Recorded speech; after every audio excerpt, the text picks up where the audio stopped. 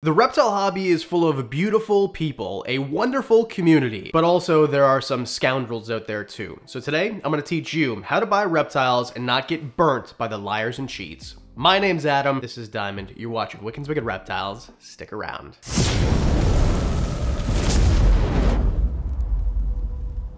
I get emails every day. This person burned me. I feel like I got burnt by this person. I got ripped off. And most of the time, it's not the case. Most of the time, nobody's ripping off anybody. It just feels like it because, well, you didn't get the deal you thought you were going to get and you have buyer's remorse. This is generally what you see. And in my experience, I've done hundreds of transactions in the reptile space and I've had 99% good experiences. I've had some bad ones and I'll tell you about them and I'll tell you how you can avoid them too. But I just want to make it perfectly clear, most people in this space are amazing, really good people, and the chances of you getting burned if you're someone who does, I don't know, a few transactions a year is next to zero. So let's go through it basically there's a few ways that you can buy reptiles. One of them is expos, and we're gonna talk about that a lot because I think that's a great way. You can buy online. If you live in the US, for example, you have so many options for buying online. You are truly spoiled. And we've got options in, in Canada, here in the UK, and things like that. You can go to a pet store, and then there is the Kijiji Craigslist way, which is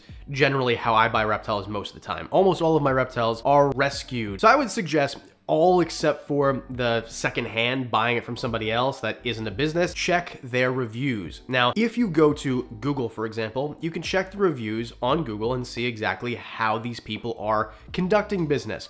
If you're seeing that they have a one or two star review, well, don't do business with them. If you see that they have a five star review and it's a thousand or 800 reviews, well, then that's probably going to be a really good business. You can also check on Facebook, Facebook groups. You can check on Reddit, especially if it's a bigger, if you're using, uh, I don't know, something big, a Reach Out Reptiles. I'll use them as, a, as an example because they are one of the good guys in the industry. Garrett and his team are amazing. So if you want to buy, say, a reticulated python and you go to Reach Out Reptiles and I say, hey, that's a good place to go, or you hear it, whatever, you follow their Instagram, YouTube, whatever, and then you go on and you're going to notice they have really good reviews. And if you go to Reddit, they're to have really good reviews. Now, keep in mind, if you see a couple bad reviews. This doesn't mean to throw the baby out with the bathwater. There's always going to be disgruntled customers. There's always going to be people who want something for nothing. And there is the chance that the customer is the scammer, not the business. Now, if you're at an expo, obviously you can look at the animal. And this goes for a pet shop too, so or a reptile shop. If you go into a reptile shop or you go to a booth at an expo, you can look at the animal. So you want to make sure clear eyes,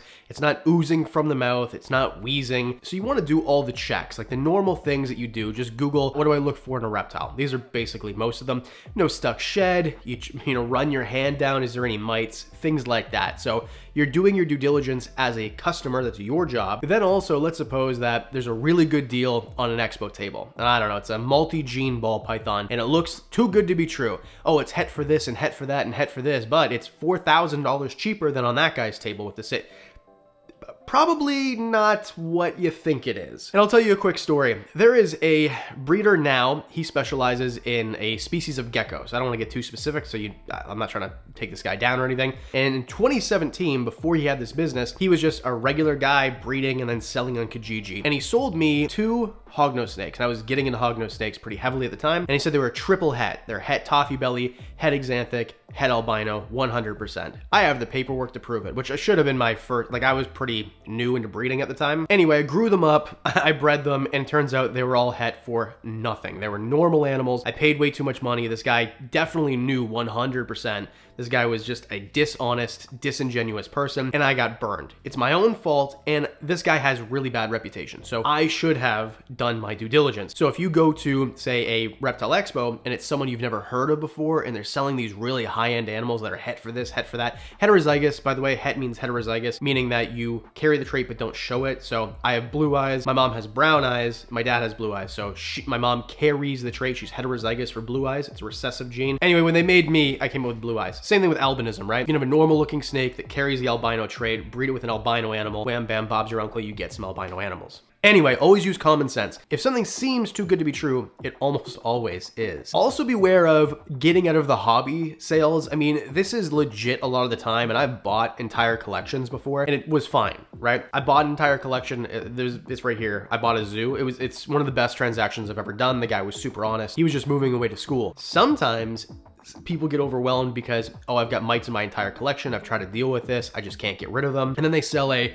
Clean collection. I literally just got a snake from a clean collection and the thing had mites. It's upstairs in a quarantine area. There's no mites down here. But the point is, a lot of the times when people are selling everything, there's a reason for it. They're burnt out, there's issues in their collection, and chances are if someone's burnt out and they're selling their collection, they've been burnt out for a while and they've been neglecting their animals for a while. This isn't always the case, but just be wary of something like that. And then look for endorsements. For example, if you like this channel and you trust my opinion, I'll tell you, if you want a reticulated python, go to Reach Out Reptiles. If you want a ball python, especially if you're in Canada, go to Mutation Creation. Billy's the man. If you want a, a mountain horn dragon, Daffy's Reptiles, if he ever produces them, or right now Responsible Reptile. I can tell you the places that I trust and I recommend. And you should find people who you trust and you can take recommendations from that you feel comfortable with, and then you can go ahead and ask. Or go to a reptile expo and someone who's been doing it for a hundred years and everyone know, like obviously not a hundred, but you know what I mean. And everybody knows them. Hey, you know, I love that you're a ball python guy, but I'm into leopard geckos. Who do I go to for leopard geckos? And generally, when you've been around the hobby a while, you know who to go to. And then look for endorsements that aren't paid. Reach Out Reptiles has no idea I'm making this video. Garrett's never paid me a dollar.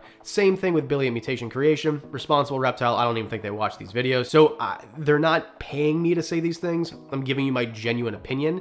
And that's what you should be looking for too. Because a lot of the times people are in cahoots and they're going to, you know, scratch their friends back because there's a monetary gain. But that's just not always the case. And you should be looking for unpaid endorsements. And then when you're going to say a reptile shop, this is where most people probably buy their animals. I always recommend don't buy from Petco and PetSmart. And it's not because like, oh, well, Becky who runs the PetSmart uh, reptile department is a, herpetologist. Okay, maybe. Also, Petco and PetSmart, they buy the reptiles from what are basically the most disgusting breeding facilities that you could ever even imagine. Like deformed animals are thrown in the garbage to die before, not euthanized, just see ya. So that's why I don't recommend that you buy from those places. And if you Google it, you can find find videos of people going in and looking at these establishments, just in case you think I'm exaggerating. I'm not. So go to a local reptile shop. This is gonna be a shop that's run by someone who's passionate about reptiles, not an afterthought like it would be at a big box pet store. The one that I go to, the reptile shop that I go to, Niagara Exotics, in Niagara. The reason I go there is because I just happened to stumble upon them the day they opened, February 1st, 2017, just randomly driving down the street. Oh, there's a reptile shop. I was into reptiles and I was going to the other shop at the time. I walked in there and the dude treated me like I was a customer for 400 years. Like we were best buddies and I had never had service that good ever. Every time I go in there to this day, but the zookeeper I hired, I found her at this reptile shop. And the owner had no problem with me hiring her also, right? So there was no competitiveness. Every time I go in there with a question, you know, hey, can you probe this snake for me? Probing means that's how you tell the sex of a snake a lot of the time. That type of service. And I know when I go in there, if I come home with an animal or a brick of cocoa or whatever, I'm not coming home with mites. I know it's really clean in there. I know that these people do their utmost to make sure that they have no mites in their collection. Everything is healthy. I've never seen a dying animal or dead animal. But that's what you want to look for is how reputable is the shop and how do they treat you as a customer? Because if they don't treat you well, what are the chances they're treating the animals well? I know that might be a stretch, but I don't really don't think it is. And if you know like kind of the area that I live, the other shop is good too. It's just this one just they treat me really good. And then when you're looking for sex guarantee, so this kind of goes along with if it seems too good to be true. If it's something that is say a hognose snake, generally the female version of whatever the morph is, is gonna be much more money, or at least a little bit more than the male. With hognose snakes, especially if they're a little older, you can tell by the tail. Females have a short and fat tail, and males have a long tail, because that's where they store their hemipenes. I've heard many times of people coming home with a long-tailed female, it's not, it's a male, almost all the time. So if you're unsure of the sex, if you're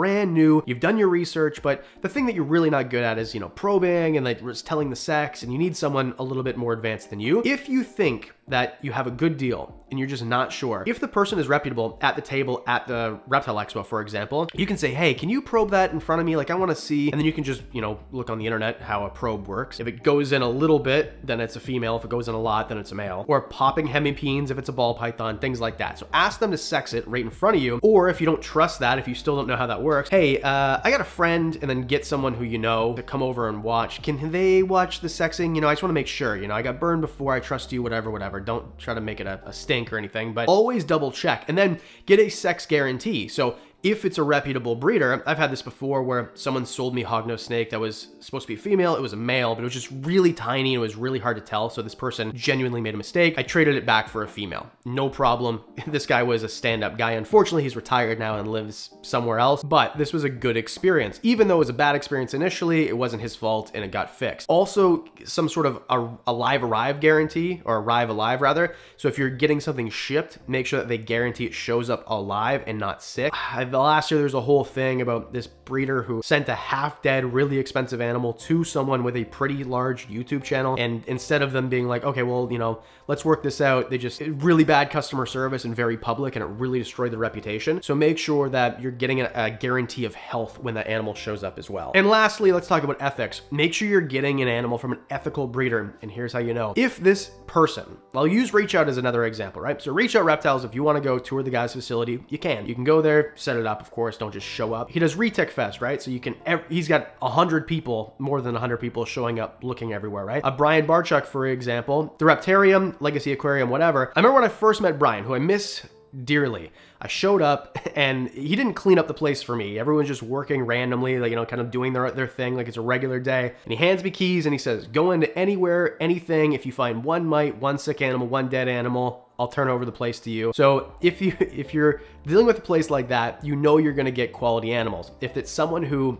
puts their reputation on the line like that, if it's someone, well, we'll just use the name Slithers Incorporated, I think is, you know, uh, we did a video about it right here. This was a whole thing last year about a, a, a, breeder who basically dead animals and sick and dying animals and they would just leave corpses. Don't buy from these people. You're voting with your dollar. So if you want good guys to stay in business, spend your money there. If you want bad guys to go out of business, don't buy animals. Even if it's an animal that you really, really want, if you know these people are abusing animals, like truly abuse, okay? Don't buy animals from them. Because guess what? Anyone who's willing to let animals die in bins or, you know, neglect their animals, if you get a sick animal or, you know, it's wrongly sexed or whatever, I promise you these people don't care enough about you to give you your refund or work with you or exchange the animal. So you're gonna have a bad time if the animals are having a bad time. This is a general rule. If the animals are having a good time, you know, they're well taken care of, they're probably gonna take care of their customers too. So I wanna reiterate, mostly in this hobby, it's a bunch of good guys and a few bad apples. So if you get burned once, I promise you it's not normally like that. I love this hobby. I think it's so amazing that we have so many great people and great businesses. And I want to hear from you. Do you have a good story? Do you have a bad story? Let me know in the comment section below. And while you're down there, I'd really appreciate if you hit the like button and the subscribe. It costs you nothing, but really helps Diamond and I and this channel. And as always,